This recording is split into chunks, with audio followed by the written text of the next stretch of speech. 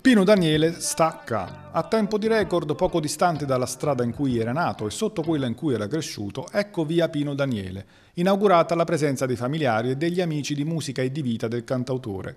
È stata fatta un'eccezione alla norma che impone che siano passati dieci anni dalla scomparsa per poter intitolare una strada.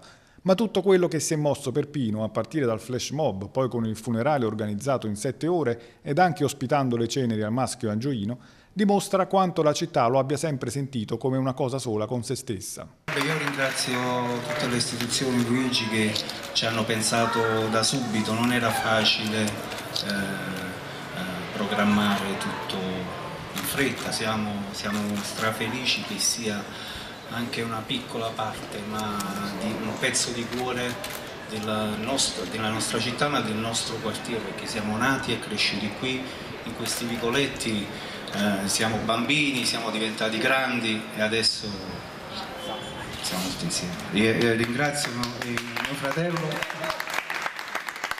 e l'altro mio fratello Salvatore che sta qui. Niente, grazie al sindaco, grazie a tutti. Pino sta qua con noi e ce lo godiamo.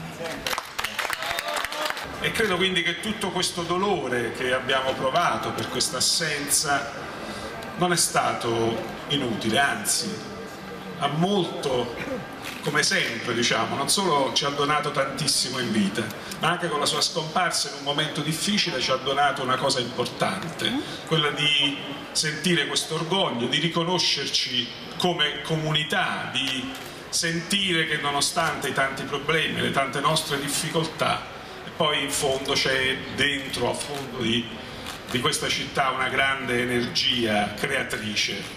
Un'ulteriore tappa nel ricordo costante di uno dei più grandi artisti napoletani contemporanei.